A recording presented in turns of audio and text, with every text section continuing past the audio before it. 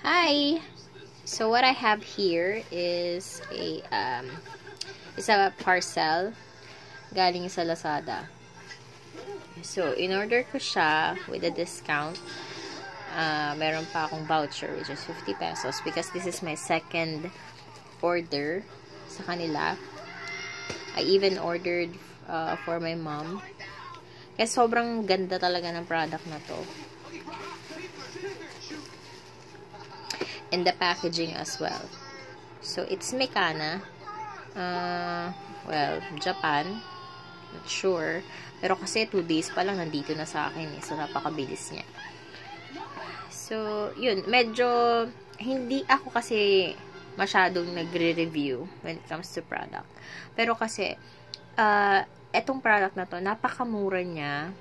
Tapos, napakaganda ng quality. Acidic ako eh. So, definitely, kapag ang isang, uh, kapag nagsuot ako ng fancy, so, siguro mga 1 or 2 days pa lang, nag, uh, na siya, nangangalawang na siya sa akin. O kaya, medyo nagiging sensitive na yung, yung tenga ko, ganun. So, eto, ang ganda niya, promise. So, pagbukas pa lang, Tcharan! Napaka-sosyal. Ayan. So, Mikana. Ayan.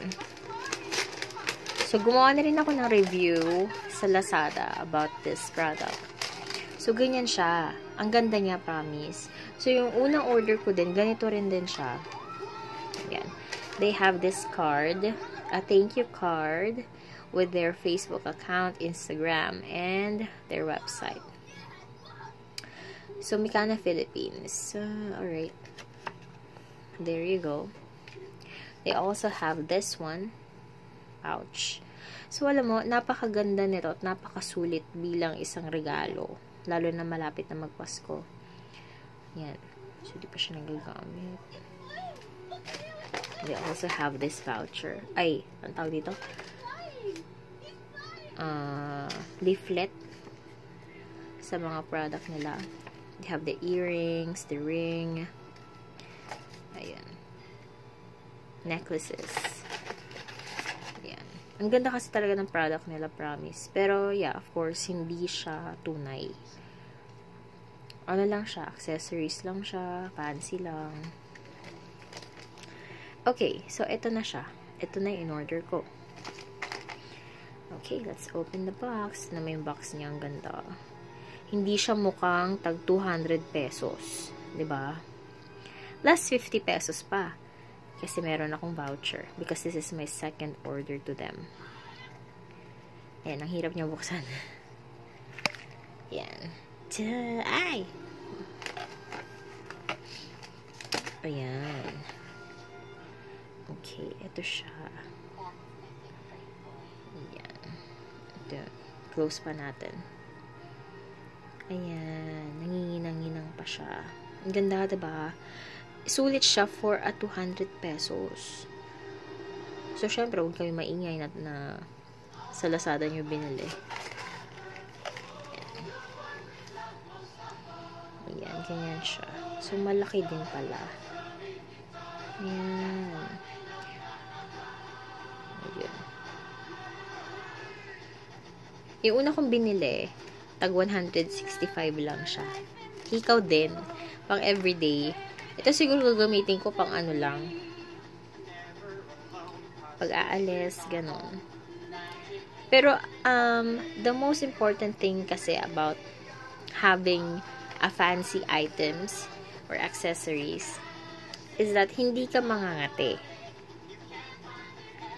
So, the reason why meron akong review na to, kasi hindi talaga ako nangati at hindi, hindi siya, hindi ako naging sensitive dun sa product nila.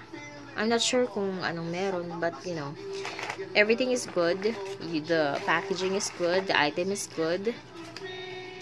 So, dumating naman siya sa takdang oras. Actually, 2 days lang eh, dumating na siya. My mom bought uh, two earrings as well. Kasi nag-sale siya from 200 plus to down to 163 pesos. Ayun. Tapos, the good thing about it is that na, pag ano, i-message ka nila and they will give you a voucher. Basta mag-create ka lang ng review sa kanila. So, yun lang po. Hope you like the video and hope you could order. It's in Lazada. Mikana. They have earrings, they have um, necklaces, and they also have bracelets. Thank you for watching. Please subscribe my channel, Hiroki's, uh, Hiroki's Journey. Thank you.